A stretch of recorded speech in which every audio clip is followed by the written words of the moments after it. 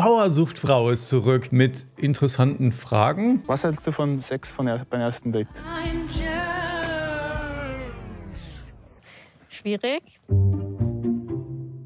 Also küssen finde ich in Ordnung. Ich habe da keine Regeln. Also ich mache das, was sich in dem Moment richtig oder gut anfühlt. Das finde ich gut. Ja. Ja. Interessanten Kandidaten. Ich habe mich auf Peter beworben, weil er halt super auch aussieht. Und ich sehe ja jetzt auch, würde ich sagen, nicht schlecht aus. Hübschen ein bisschen. Und ganz viel Saufen. Was darf ich dir zu trinken bringen? Alkohol. Was denn? Schnaps, Bier, Schnaps, Wein? ja. ja? Schnaps bitte, ja. Selbstgebrannten. Gerne. Oh, mal ein Frühstücksschnaps, ist doch auch was. Ich trinke aus der Flasche. All das und noch einiges mehr gibt's in der brandneuen Staffel Bauer sucht Frau international. Und ich weiß gar nicht, warum das immer ein bisschen weniger geguckt wird als die normale Staffel, weil ich finde es eigentlich genauso gut und werde es genau deswegen wieder kommentieren, parodieren und analysieren.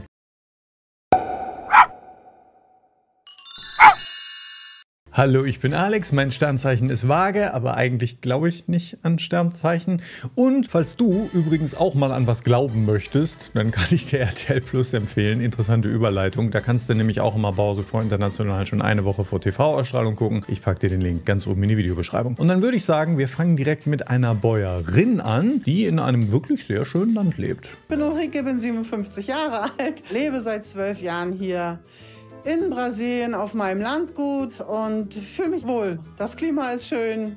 Meine Tiere habe ich lieb und die haben mich lieb. Und naja, ein bisschen Arbeit ist auch dabei. Aber mein Spruch ist ja, das Leben ist zu kurz für irgendwann. Also liegt bei mir der Fokus mehr aufs Leben genießen als auf Arbeiten. Und bei Ulrike merkt man, finde ich, sehr, sehr rasch, die ist irgendwie ein bisschen unikat und äh, ich fand sie auf den ersten Blick ziemlich sympathisch. Da wundert man sich natürlich, ja, warum hat sie denn noch keinen Mann? Und das ist dann wiederum leider eine etwas traurige Geschichte. Seit 2012 bin ich dann nur hier gelandet. Ne?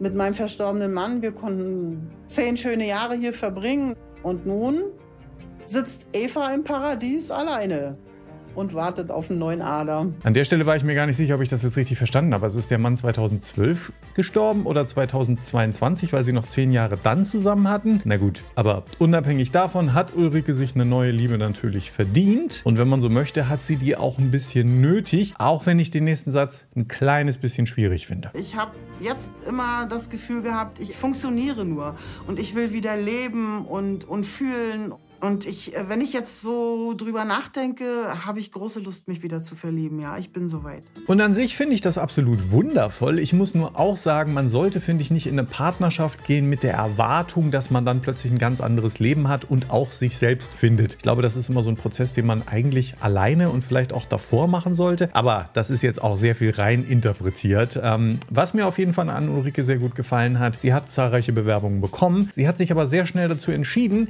jetzt nicht ganz viele Männer einzuladen. Es muss nur einer sein, der passt. Entweder ja, hopp oder top, ne? Also nehmen wir jetzt den einen.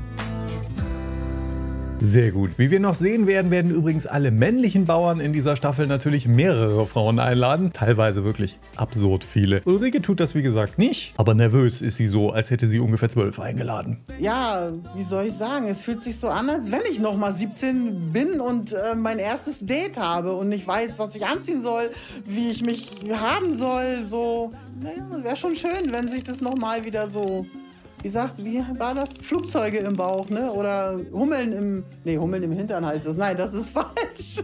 Kribbeln im Bauch. Ne? Ja, ob da jetzt irgendwas im Arsch oder an anderen Körperstellen unterwegs ist, das können wir uns ja später mal in Ruhe angucken. Ich muss jedenfalls bemerken, ich finde sie sehr sympathisch. Den Mann, den sie eingeladen hat, den finde ich auf den ersten Blick aber ein kleines bisschen schräg. Aber immerhin auch nicht unsympathisch. Das war volles Programm, was man sich nicht wünscht. Von Flug verpasst bis späte Anreise, schlecht schlafen und so weiter. Also alles, was nicht kommen sollte, ist passiert. Ja, mein Koffer ist noch unterwegs und man weiß nicht genau wo.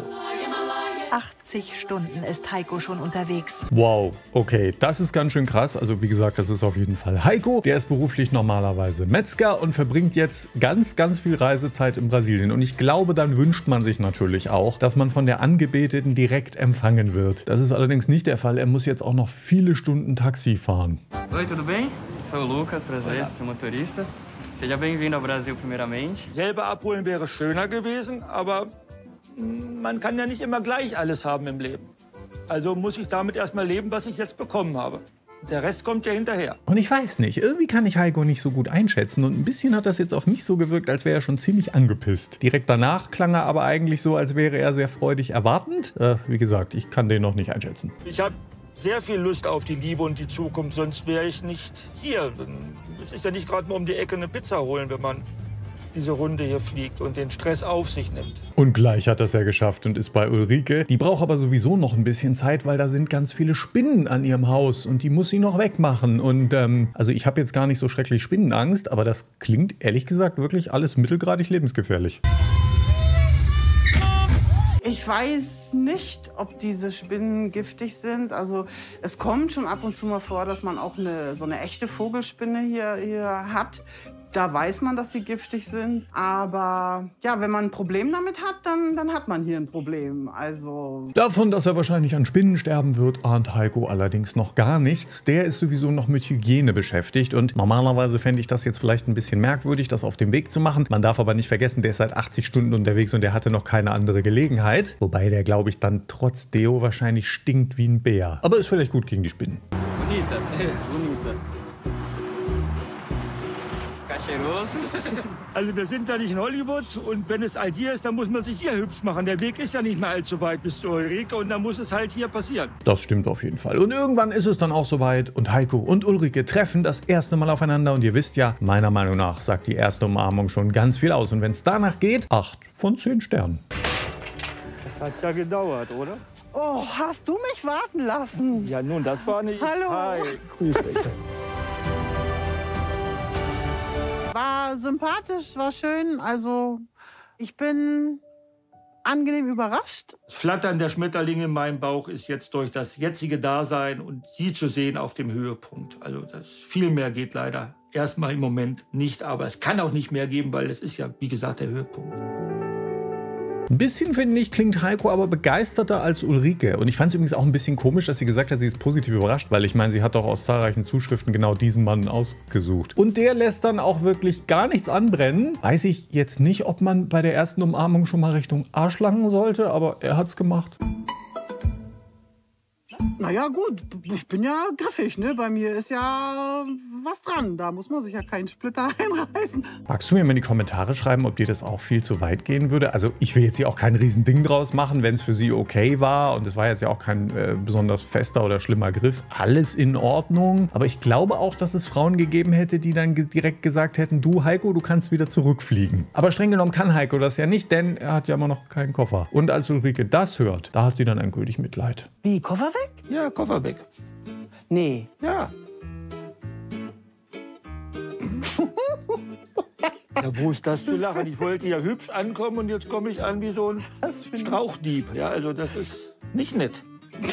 Ich find's lustig. Und ich persönlich muss sagen, so schlimm sieht Heiko jetzt doch eigentlich auch gar nicht aus. Man darf nur nicht vergessen, er hat natürlich jetzt gar keine Wechselsachen. Und wenn ich das richtig verstanden habe, dann waren die mit dem Taxi auch noch mal vier Stunden unterwegs. Deshalb, selbst wenn der Koffer gefunden wird, heißt das ja nicht, dass er jemals Heiko in der Zeit erreicht. Aber kein Problem. Er kann ja einfach Ulrikes alte Rücke auftragen. Ich werde versuchen, so, dass in meiner Macht steht, ihm mit Sachen auszuhelfen. Äh, ja gut, ähm, er ist nur größer. Ich habe ja keine Ahnung, aber meine Tangas wird er wohl nicht tragen können. Was dann aber auch passiert ist, dass Ulrike klar wird, was Heiko tatsächlich für einen Stress für sie durchlebt hat. Und ich glaube, das ist schon etwas, was einem, ja, was einem einfach beweisen kann, dass man begehrenswert ist. Und ich glaube, das braucht Ulrike mal wieder. Ich bin jetzt auch so ein bisschen, ich will jetzt nicht sagen, ich bin eingebildet, aber ich bin jetzt schon ein bisschen stolz, dass es jemanden gibt, der diese ganzen Strapazen für mich, er hat es ja im Prinzip für mich aufgenommen. Also kenne ich ja so auch nicht, ne, dass jemand für mich so, so was tut. Ne? Und deswegen gibt Ulrike dann Heiko auch eine sehr liebevolle Tour und macht ihm im Haus gleich mal klar, dass er geschlagen wird, wenn er nicht pariert. Naja, ganz so schlimm wird es hoffentlich nicht. Ich denke mal, das ist dann die Hausordnung, Das oder? ist die Hausordnung, aber der rechte davon, ne? Das, Ah, und der andere? der linke ist zum Umrühren. Für Eintopf. Ja. Dass er jetzt reinkommt und sagt, das ist die Hausordnung, das finde ich schon cool. Also das zeigt mir, dass er doch äh, irgendwo einen Sinn für, für Humor hat, für trockenen Humor hat. Und das ist voll das, was ich auch mag. Und dann wird Heiko auch erst klar, hey, Moment mal, ich habe dieses Format schon auf dem Fernsehen gesehen und normalerweise müsste ich jetzt mit 17 Männern konkurrieren. Das ist allerdings nicht der Fall und er darf ganz alleine bei Ulrike sein, während im Hintergrund irgend so ein komisches Designschwert zu sehen ist, bei dem ich ein bisschen Angst hätte, wenn ich mit dem nachts alleine wäre. Soll heißen, es kommen keine weiteren Gäste. Nein, Eieieiei. na, einer reicht ja wohl, ne? Womit Also haben wir denn das verdient? bin ja auch nicht mehr so, dass ich so viel ab kann. Nee, nee, einer reicht. Ja, dass man so der Einzige ist, das macht einen schon ziemlich stolz, weil man konnte auch auf vier oder fünf treffen oder keine Ahnung was. Dann macht Heiko sich noch ein kleines bisschen frisch, kann sich aber nur bedingt umziehen, aber es klappt dann zumindest halbwegs und die beiden wollen jetzt den Abend miteinander verbringen. Und da wird Ulrike zum ersten Mal klar, hey, dieser Heiko, der geht jetzt ja gar nicht wieder einfach. Ich glaube, ich habe das noch gar nicht so richtig äh, verinnerlicht, dass jetzt hier die ganze Woche lang äh, wir jetzt irgendwie uns hier kennenlernen. Das, das braucht für mich noch Zeit. Komisches Gefühl. Komisches Gefühl. Aber nicht, nicht uncool. Irgendwie fetzig. Ob das fetzig bleibt, das hängt natürlich auch von Heiko ab. Und er hat ja schon deutlich gemacht mit seinem Griff. Er möchte nichts anbrennen lassen. Genau genommen möchte er sogar, wenn es schon angebrannt ist, die Kochplatte trotzdem nochmal auf 10 hochdrehen. Ich habe ja hier nicht allzu viel Zeit, also wird die Zeit nicht mit Schlafen verplempert, sondern eben mit Eroberung und Flirten und Machen und Tun. Auf eine schöne Woche. Zum Wohl. Das wird, glaube ich, noch sehr lustig in der nächsten Folge. Ich habe auch schon mal in die Vorschau reingeguckt. Gleich gibt es aber das absolute Highlight dieser Folge. Vorher wollte ich dich aber noch mal ganz kurz bitten, kostenlos meinen Kanal zu abonnieren, denn viele von euch haben das tatsächlich noch nicht gemacht und äh, ich weiß, dass die Bauer so Frau Zuschauer mit zu den treuesten gehören und deswegen würde es mich sehr freuen, wenn du auch mit dabei bist. Aber gut, dann würde ich sagen, hier ist es auch mein persönliches Highlight dieser Folge, ein Bauer aus Tirol. Peter. Ich bin der Peter, komme aus dem schönen Tirol, bin 33 Jahre alt und ja, wohne auf dem Hof hier mit meiner Familie seit immer schon. Wir haben einen Milchviehbetrieb mit ca. 10 Stück Vieh, natürlich ein paar Kälber dazu und Hühner und, und ein paar Katzen. Ist alles da. Sehr schön. Jetzt muss ich allerdings auch mal bemerken, Peter, normalerweise, ganz klassisch, ist Bauer sucht Frau ja auch ein Format, wo so die etwas verschrobeneren und vielleicht auch älteren Bauern und Bäuerinnen einen Partner suchen. Du bist jetzt ja so ein halber Bachelor. Warum machst du jetzt mit? Ich bin kein Womanizer, also, weil an und für sich ist mir so Frauen nachzujagen viel zu anstrengend.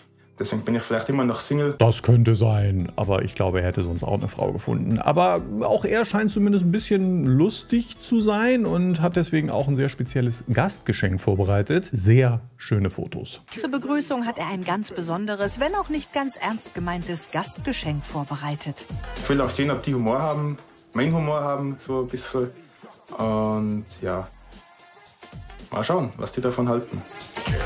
Eigentlich eine ganz witzige Idee. Und er hat sehr viele Frauen eingeladen und deswegen müssen wir uns die jetzt auch ganz rasch angucken. Hier ist Nummer 1, die, wie ich finde, jetzt für einen Bauernhof vielleicht auch nicht ganz passend gekleidet ist. Ich bin nervös, aber vorfreudig aufgeregt auch. Ja, ähm, aber doch, ja, doch, ich bin aufgeregt. ehrlich bin, ja, aber ich freue mich, ihn zu sehen, genau. Das ist also Stefanie und die darf jetzt auf ihren Angebeteten treffen. Und auch hier müssen wir natürlich die Begrüßung bewerten. Ja, ich würde auf der 10er-Skala aber eher nur so 6,5 sagen. Servus, Stephanie. Peter. Liebchen, komm her. Dankeschön. Ah, freut mich. Servus. Ah, schön, dich kennenzulernen. Ja, ebenso. Dankeschön. Bist du aufgeregt? Sehr. Ich auch. Ja, der erste Eindruck ist gewaltig. Eine sehr hübsche Frau. Ich bin gespannt, was sie zu erzählen hat. Das ist genauso attraktiv, wie ich mir das erhofft habe. Na gut. Ich glaube, bei den beiden liegt es aber auch sehr stark an der Nervosität. Und was kann man jetzt gegen Nervosität tun? Richtig, man lernt sich besser kennen. Aber das ist ja blöd und kostet ganz viel Zeit. Was man natürlich auch machen kann, ist saufen. Und das morgens um 10. Was darf ich dir zu trinken bringen? Alkohol. Was denn? Schnaps, Bier, Schnaps, ja. ja? Schnaps bitte, ja. Selbstgebrannten. Gerne. Oh, mal ein Frühstücksschnaps ist doch auch was. Ich trinke aus der Flasche. Wundervoll. Ähm, die anderen Frauen kommen dann übrigens erst ein bisschen später. Deswegen haben Stefanie und Peter noch die Gelegenheit, sich ein kleines bisschen zu beschnuppern. Und Stefanie erklärt erstmal, was sie beruflich macht. Sie ist nämlich irgendwie Tierbestatterin, wenn ich das richtig verstanden habe. Angenommen, dein Hund oder deine Katze würde jetzt sterben, dann kannst Ja. du die zu mir bringen. Ich nehme dann alle deine Wünsche auf, was du für eine Urne möchtest, Schmuck. Also du Der musst grobe nicht, Ablauf. Nicht noch bürsten, bevor die, dass die noch hübsch Das machen wir auch. Das Ach machen so. wir auch, wenn die nochmal Fotos haben wollen, nochmal eine Aufbahrung. Finde ich an sich jetzt ganz cool, auch wenn ich persönlich sagen muss, dass ich gerade wenn ein Tier stirbt, das irgendwie wichtig finde, das nicht so extrem zu vermenschlichen, obwohl ich sonst meine Tiere eigentlich immer ganz doll vermenschliche. Ich weiß nicht genau, ob ihr jetzt verstanden habt, was ich meine, aber ich fand es ein kleines bisschen komisch, aber letztlich ist es ja auch egal. Und es kommt natürlich darauf an, was sagt Peter denn? Also es gibt tatsächlich Leute, die dafür bezahlen, dass die einen, einen toten Pudel noch mal auffrisiert wird und der dann präsentiert wird. Wieso nicht? Wenn's, wenn's, wenn's, wenn's einer haben will, dann Hat er ja super ausgedrückt, würde ich sagen. Stefanie ist dann natürlich auch die Erste, die das tolle Geschenk bekommt, aber da gibt es ein Geheimnis. Ah, du lachst. Es ist wirklich ein schönes Foto. Vor allem deine muskulösen Oberschenkel. Ja, er hat schon einen guten Körper. Wobei, dass die Oberschenkel natürlich Photoshop sind und alles andere auch. Aber Keine Angst, verraten wir nicht. Und wir haben eh keine Zeit, denn endlich kommt auch Frau Nummer zwei. Und auch die sieht echt gut aus und auch die hat sich total schön zurechtgemacht. Aber auch hier muss ich wieder sagen, ist jetzt für einen Bauernhof nur bedingt geeignet. Ich bin für gewöhnlich ein unfassbar entspannter Mensch. Heute bin ich alles andere als entspannt. Ich habe ein bisschen Herzrasen und Bauchgrummeln. Aber ich denke, das ist ein gutes Zeichen. Es hat auf jeden Fall zu bedeuten, dass mir der Mensch schon gefällt. Ja, oder dir gefällt der Umstand, mal wieder ans Fernsehen zu kommen, denn ihr habt es eben gesehen, das war sie ja schon mindestens einmal. Ich meine, ich habe sie sogar schon mal irgendwo anders gesehen. Aber egal, auch hier gibt es natürlich eine Begrüßung und die ist dann schon eher eine 7,8.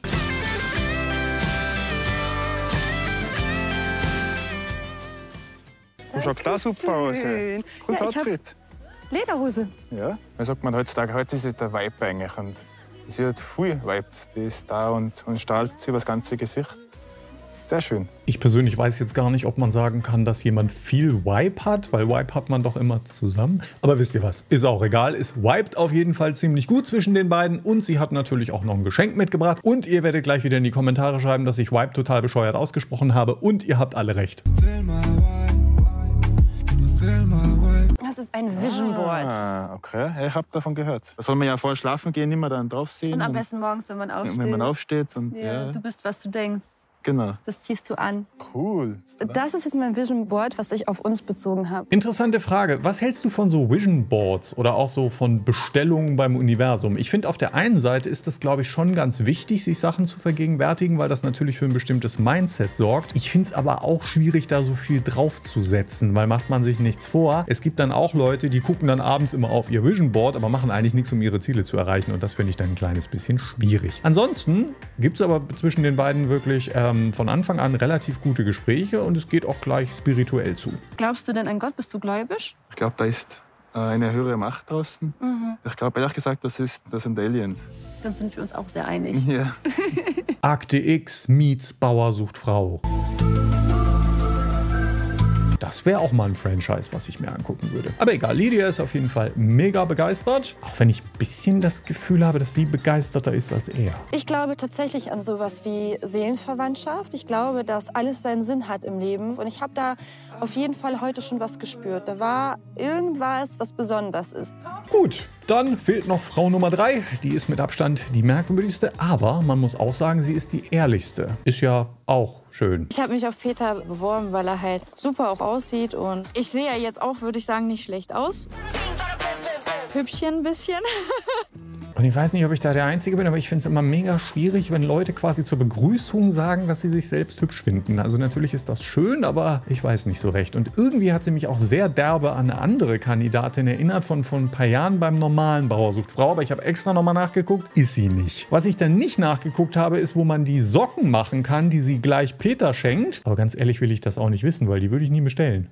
Ah, Meinem Gesicht drauf. sehr nice. Wunderschön, oder? Eine Erinnerung. Bedeutet Bedeutet das dann nicht im Umkehrschluss, dass wenn Peter die trägt und auf seinem Hof arbeitet, dass er dann mit schwitzigen Kuhscheißfüßen auf ihrem Gesicht rumläuft? Ah, wisst ihr was, ich sollte mir da nicht so viele Gedanken machen. Hier kommt Peters Geschenk. Oh Gott. Ja. Sieht ja aus wie mein Stiefvater. Wirklich? ja, er ist auch so rumgelaufen.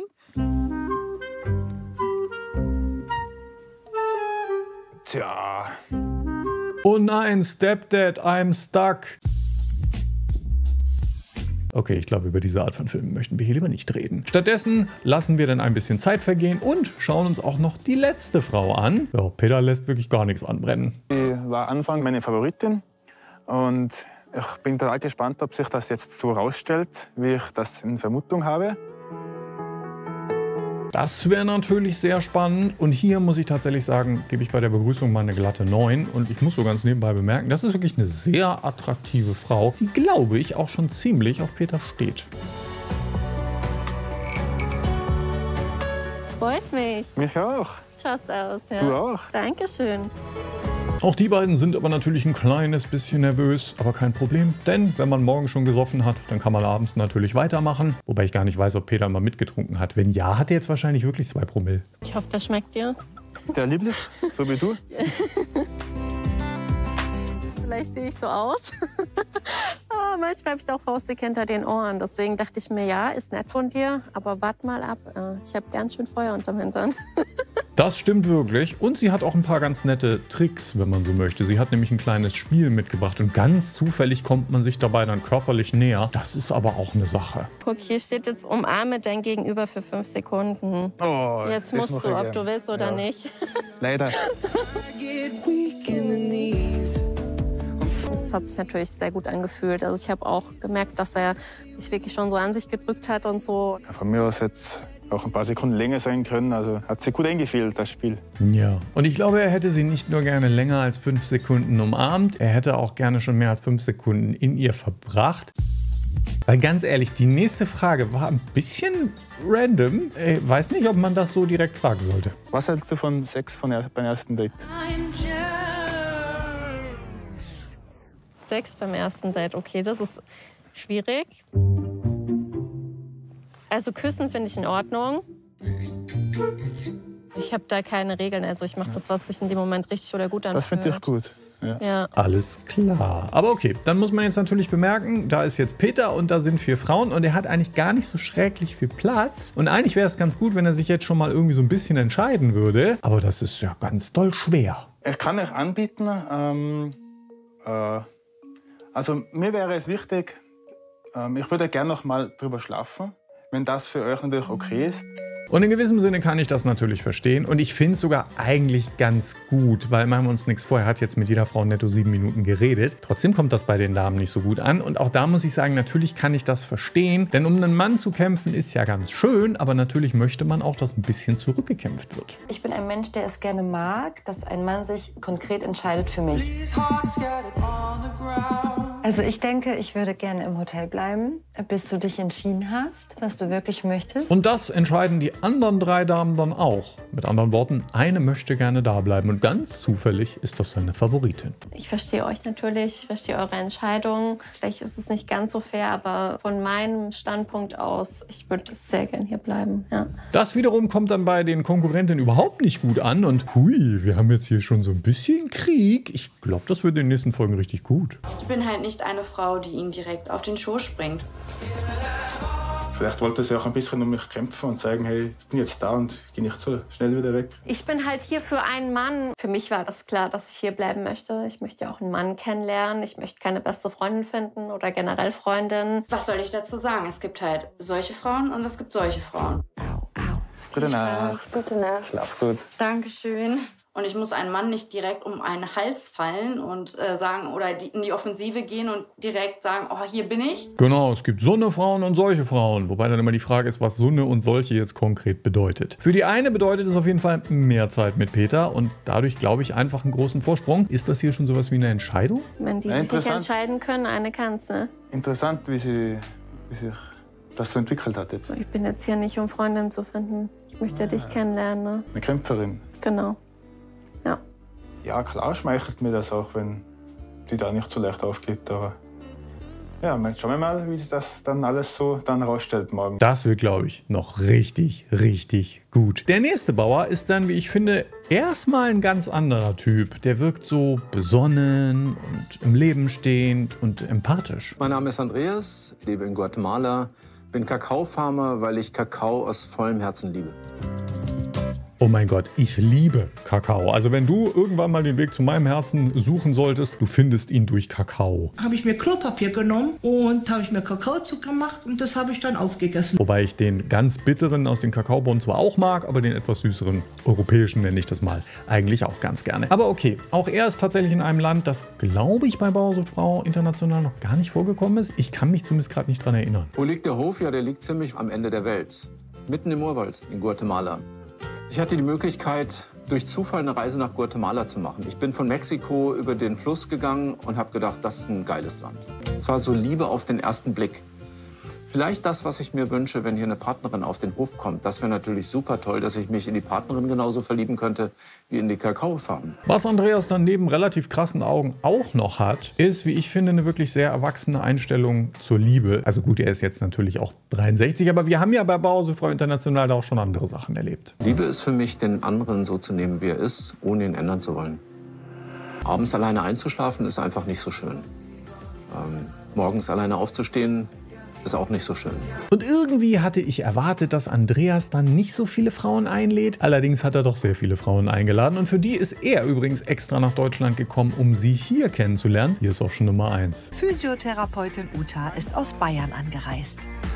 Andere Damen möchten auch äh, den Andreas kennenlernen, aber ich denke, dass mein Selbstbewusstsein so groß ist, dass ich da keine Konkurrenz sehe. Aber Uta bleibt wirklich nur vier Sekunden die einzige. Dann kommt auch schon Elke und auch hier beginnt sofort ein bisschen Konkurrenzdenken und Kampf. Ich glaube, die Elke würde jetzt nicht gut zum Andreas passen, weil ich glaube, vom Typ her ähm, eher nicht. Und irgendwie dachte ich mir, okay, das reicht doch jetzt. Aber ansonsten macht das Andreas Aussage vielleicht auch ein kleines bisschen komisch. Andererseits muss man natürlich auch sagen, wenn er extra nach Deutschland kommt, dann muss es sich auch lohnen. Hier ist Frau Nummer drei. Ich bin aus der Schweiz angereist nach Berlin, dass ich den Andreas endlich mal sehe. Und ich freue mich sehr drauf. Und ich bin kribbelig und das Herzli pöpperlet und ich bin aufgeregt. Ja. Okay, jetzt reicht es doch aber wirklich, oder? Nein, natürlich nicht. Denn es gibt noch eine Frau, die ist dann auch noch 17 Jahre jünger als er. Und so langsam verliere ich ein bisschen den Überblick. War ein irritierendes Gefühl, weil ich nicht so richtig wusste, wo gehe ich jetzt drauf zu, wer ist das? Aber ich finde, die anderen drei Damen haben mich nett in die Runde aufgenommen. Okay, ich muss ja für euch immer ein bisschen die Namen lernen. Also wir haben jetzt Uta, Susanne, Elke und die eben war Nicole, glaube ich. Aber es ist halt immer noch nicht vorbei. Ich freue mich sehr auf den Tag heute. Bin sehr gespannt. Deswegen ja, merkt man die Kälte vielleicht dann doch nicht so. Hallo zusammen. Hallo. Hallo. Hallo. Hallo, hallo, hallo, hallo. Ja, okay. Und danach geht es dann endlich ans eigentliche Kennenlernen. Uta darf hier wieder den Anfang machen und wenn ich das bewerten müsste, ja, schon eine 8. Das ist die Ah, Uta, Uta. und das ist der Andreas. Hallo, grüß Ja. dich. Der erste Blick denke ich, aha, okay. Es war ein erster Wow-Effekt da. Ist halt ein stattlicher Mann, ne? Mit allem drum und dran. So, fest in der Brandung. Sie hat mein Gefühl, mein Herz berührt. Klingt super, aber hier ist auch schon Dame Nummer 2 und auch hier gibt es schon wieder eine 8. Nicole. Hallo Andreas, grüß dich. Hallihallo. Hallo. Als ich Andreas äh, umarmt habe, war das ein sehr warmes, ein sehr schönes Gefühl. Okay, dann die nächste Frau und auch hier muss ich sagen, das ist ja schon wieder eine 8. Hallihallo, Elke. Hi, hallo Andreas. Elke hat mich begeistert. Elke ist eine natürliche Person und ist einfach ja, eine gute Wahl. Der Andreas entspricht schon meinem Männerbild. So, ich liebe dieses Strahlen, dieses, diese strahlenden blauen Augen. Ich mag graues Haar am Mann und seine Größe, seine Statur. Cool. Ich bin mir unsicher, ob Andreas klar ist, dass er die nicht alle heiraten darf. Also vielleicht geht das in Guatemala, aber in Deutschland wird es auf jeden Fall nicht funktionieren. Aber egal. Nummer 4, ja, ich würde eine 8 geben. Aus Thailand. Ja. Das finde ich ja schön. Hallo. Hallihallo. Als er mich dann angeschaut hat, habe ich schon gemerkt, also, ja, ich hatte schon die Schmetterlinge im Bauch. Es war eine warme Umarmung und einfach ein herzliches Gefühl. Gut, fehlt nur unsere Schweizerin und das ist endlich mal keine 8. Das ist eher eine minus 4. Also zumindest von ihrer Seite aus. Ich habe mir ein bisschen größer vorgestellt, das muss ich ganz ehrlich sagen. Und, äh, aber er hat eine super positive Erscheinung und das finde ich gut, ja. Und wenn ich dann irgendetwas in den letzten Jahren bei Bauersucht Frau und auch in anderen Dating-Formaten gelernt habe, Körpergröße scheint für Frauen oftmals echt sehr, sehr wichtig zu sein, weil ohne dass die großartig weitere Gesprächsmöglichkeiten hatten, hat sie ihn dann einfach aussortiert. Da, da kann ich ja eigentlich ganz froh sein, dass ich 1,88 bin, oder? Ja, ich muss leider sagen, dass bei mir der Funke nicht drüber gesprungen Mhm. ist. Das ist ein Gefühl, Bauchgefühl, ja, einfach irgendwie, ich bleibe im Schweizer Ländli. Ja, klar bin ich enttäuscht. Ähm, Das ist ja. ähm, Also niemand mag ja eine Entscheidung, nee, du bist es nicht. Ja, natürlich ist Andreas enttäuscht, weil dann kann er ja nur noch vier Frauen heiraten. Ja, aber leider ist ihm das dann auch verboten worden und er musste sich am Ende für zwei entscheiden. Und da er ja allen nachgegeben hat, hat er wahrscheinlich irgendwie gewürfelt. Ja, dann würde ich sagen, die Petra würde ich gerne einladen. Freut mich riesig. Dann würde ich gerne Sachsen mitnehmen. Genau. Ja, die Uta würde ich gerne mitnehmen, genau, wenn sie. Genau. Schön. Hi. Hey. Freu mich. Auch hier muss ich übrigens sagen, bin ich schon sehr gespannt auf den Rest der Staffel, weil ich glaube, das könnte noch ziemlich viele Reibereien geben. Ich freue mich auf euch. Dankeschön, Andreas. Danke. Prost. So, und falls du jetzt denken solltest, Mensch, das Video geht ja schon ganz schön lange, jetzt moderiert er hoffentlich endlich ab. Nee, denn wir haben tatsächlich noch einen Bauern. Der lernt zwar hier noch überhaupt nicht seine Frauen kennen, aber er darf sich natürlich mal vorstellen. Und irgendwie hat er mich so ein bisschen an so einen bösen Piraten bei Jack Sparrow und Fluch der Karibik erinnert. Hi, ich bin der Philipp, der Berliner, der irgendwie in Togo gelandet ist, in den Bergen hier mit meiner kleinen Farm, die mich sehr glücklich macht. Klingt eigentlich ganz cool, wobei ich mich ein bisschen gefragt habe, wie man zufällig in Togo landet. Jetzt habe ich nämlich ein bisschen Angst, weil ich muss nachher nämlich auch noch wohin fahren, wo ich noch nie hingefahren bin. Nicht, dass ich dann auch zufällig in Togo lande. Meine Geschichte, der Weg hierhin, ähm, dauert knapp zehn Jahre und hat viele Umwege und Umleitungen geführt. Äh, ich bin öfters nach, nach Afrika gereist und mir meinen Horizont immer weiter gesucht. Er möchte jetzt aber auf jeden Fall eine Frau, beziehungsweise am liebsten möchte er auch direkt eine Familie. Finde ich übrigens immer cool. Man muss aber natürlich immer so ein kleines bisschen aufpassen, dass man sich eine Partnerin nicht nur deswegen auswählt. Kinder sind natürlich auch eine, eine Erweiterung äh, deines Ichs. Und äh, ich kann mir das schon sehr gut vorstellen, äh, dass ich ein cooler Papa wäre. Erweiterung des Ichs. Das hat er eigentlich echt ganz schön ausgedrückt. Habe ich so tatsächlich, glaube ich, noch nicht gehört. Auch er gehört dann zu denjenigen, die nicht in Togo empfangen. Zumindest erstmal nicht, sondern er reist nach Deutschland. Ja, und den Pulli, den er da mitnimmt, den hatte er, glaube ich, sehr lange nicht mehr an. War, glaube ich, vier, fünf Jahre nicht mehr in Deutschland und davor eigentlich auch zehn Jahre nur sehr sporadisch. Ich bin schon nervös, was mich da erwartet. Oh, ich glaube, der war lange nicht angezogen. Puh. Auf Philipp muss ich sagen, bin ich mal sehr gespannt, weil ich glaube, der ist auch ein ziemlich spezieller Typ und ich bin auch darauf gespannt, ob den Frauen klar ist, wie speziell er eigentlich wirklich ist. Ha, Mann, die Staffel wird, glaube ich, echt gut. Ich bin bereit. Mal schauen, wo es mich hinführt. Ganz in die Nähe Berlins. Dort werden vier Frauen darauf warten, den ungewöhnlichen Bauern kennenzulernen. So, und jetzt haben wir es tatsächlich endlich, na eigentlich nicht endlich, aber wir haben es auf jeden Fall geschafft. Das Video ist am Ende. Wir wollen uns aber natürlich noch die Vorschau von der nächsten Folge anschauen. Und dabei gibt es Streit und ein bisschen nackte Tatsachen. Ich bin gespannt vor allen Dingen, wie es jetzt mit Alisa und Peter war. Ich kann gar nicht einschätzen, ob da mehr passiert ist zwischen den beiden. Guten Morgen, Sonnenschein. Ich würde nie auf die Idee kommen, mich da halbnackt irgendwo bei fremden Leuten hinzusetzen. Ne? Aber ja gut, äh, fand das wohl witzig. Wenn du das nicht verpassen willst, ich erlaube mir es einfach nochmal zu sagen, weil das Video so lang war, würde ich mich jetzt noch sehr über ein Abo freuen. Du weißt ja, letztlich ist das auch immer so die Währung, in der ihr mir mit Zuneigung zeigen könnt, dass wir alle zusammengehören. Und dann sind wir irgendwann eine Einheit. Okay, das war jetzt ein bisschen pathetisch. Nein, aber ich würde mich auf jeden Fall freuen, genauso wie über einen Daumen nach oben. Und wenn du mir sonst noch einen Gefallen tun willst, kannst du mir auch sehr, sehr gerne auf Instagram folgen. Packe ich dir hoffentlich auch irgendwo rein. Und wenn du das alles nicht tust, dann musst du jetzt Philips alten Pulli anziehen. Und aus Versehen kommst du auch morgen noch nach Togo.